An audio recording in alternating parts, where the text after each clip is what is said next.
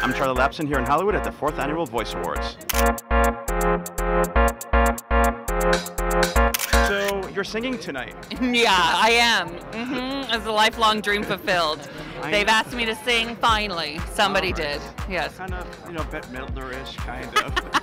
Yeah, I'm like Bette Midler meets a Muppet. You know what I mean? Like right in between there.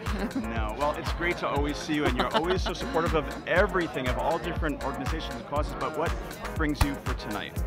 Oh well, I mean this is exciting. I mean they're going to put on a great show, and, and it's so great to you know raise money for anything that involves the arts. But also my, my dear friend Jeff Olde is being honored tonight, and so Christina Milian and I are going to introduce him. Uh, we're part of the E family, of course, and he one of the big wigs at E. So it's a it's a big night to celebrate one of our friends.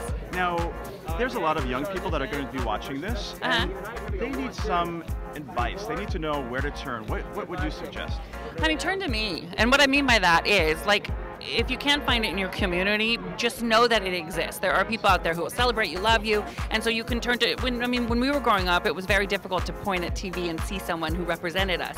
Now you can not only point at TV, but you can reach out and talk to us on social media. There are groups like there never have been before. You just, if you're feeling alone, you just got to look a little harder.